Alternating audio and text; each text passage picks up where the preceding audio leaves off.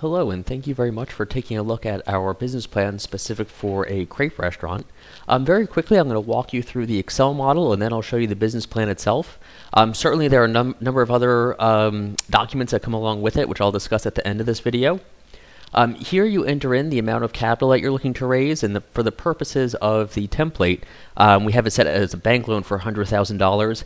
Again, you can adjust or modify any of this uh, specific for your needs.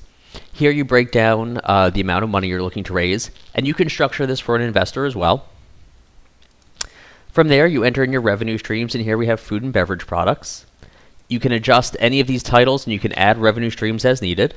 Um, here you have your personnel, and again, you can change the titles, you can change your salaries.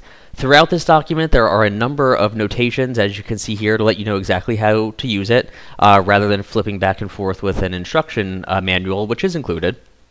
Here you put in your underlying yearly expenses. From there, you go to the monthly sales tab and you simply enter in um, your anticipated month to month revenue for the first year, and you can change this very easily.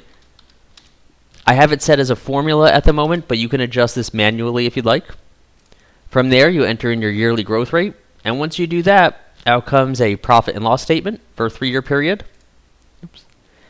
For the first year, this is broken down monthly, and this is done uh, automatically. In year two, it's quarterly.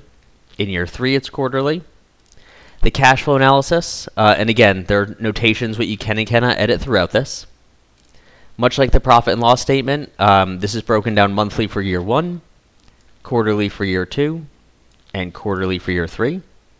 Your break-even analysis, business ratios, balance sheet, and if you want to modify the headcount, you go to personnel monthly.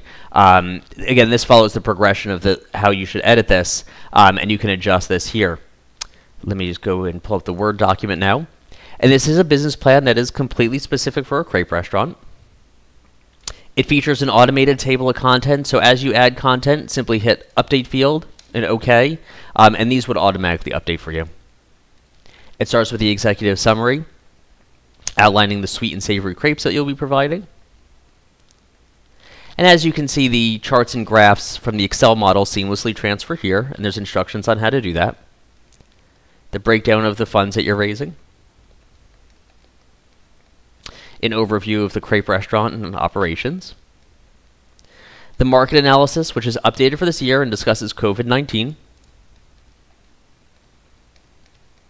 The marketing plan, uh, and there is a standalone 24-page marketing plan that comes along with it, and that's in Word as well.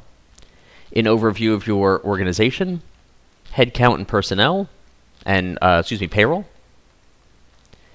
And of course, the financial plan, uh, which again, as you can see, has the three-year profit and loss statement, cash flow analysis, balance sheet, break-even analysis, and business ratios. And the last two appendices, and, and I'll spare you the headache, are just those uh, expanded profit and loss and cash flow analysis statements that you saw in the Excel model. And that's essentially it. It's a very easy to use uh, program. They're coming with it uh, beyond these two documents, again, is the 24 page standalone marketing plan, pitch deck, three SWOT analysis templates, uh, as well as a number of other uh, documents that will help you in writing a business plan specific for your crepe restaurant. Thank you very much for taking a look. If you have any questions, you can reach us on the live chat. Uh, it's in the bottom corner, um, or through our Contact Us page. Take care.